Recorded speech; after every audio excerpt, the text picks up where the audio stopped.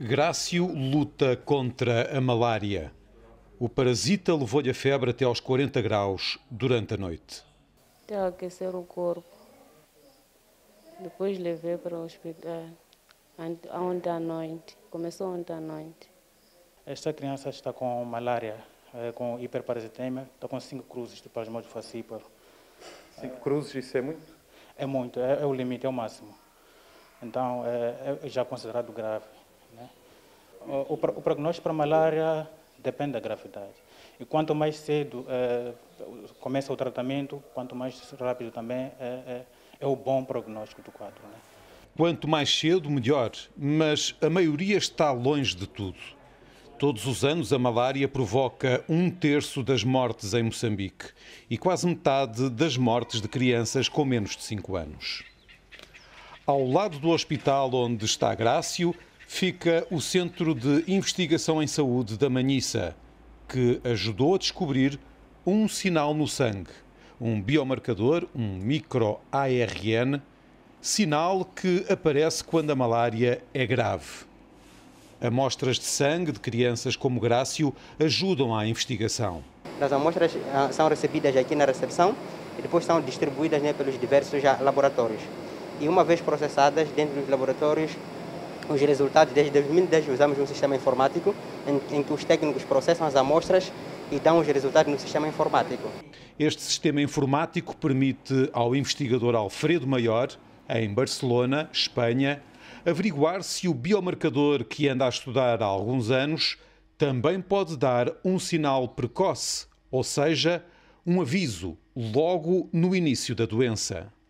Eh, a nosa hipótesis é que este biomarcador ha de servir para momentos iniciais, previos da doença, mas ainda não demonstramos isto. Então, parte deste no, desta validação que estava a referir-me antes eh, eh, debería ser este punto, ¿no? A ver até que punto este biomar biomarcador tem um valor prognóstico, eh, predice o que vai acontecer no futuro. Um diagnóstico precoce da malária que ajudaria a salvar vidas, com o contributo da investigação moçambicana. Na Manhissa, o trabalho continua nos laboratórios. Então, já havia preparado a amostra previamente, que é diluir a amostra e acrescentar reagente de Dinexpert. Já fiz essa parte e agora é a segunda parte que é para introduzir na máquina.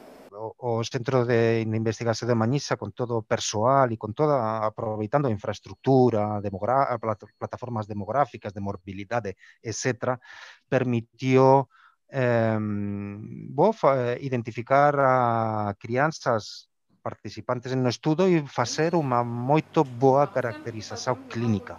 Para este tipo de estudos é, é esencial, básico, que, ha, que haya uma boa caracterização dos participantes.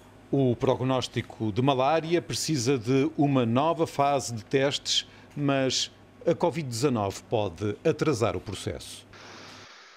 Eh, sí, pode, pode sufrir. Agora, nestes momentos, eh, moitos dos esforzos do, do equipa están destinados a tratar de eh, entender que está a acontecer con o COVID, eh, eh, e bo, eh, invertir estos esforzos, como estaba a falar antes, en, en esta situación, pues eh, compromete o tempo que temos para dedicar a, a outras actividades. Crianças como Grácio esperam que a pandemia passe depressa para que o combate à malária recupere o vigor.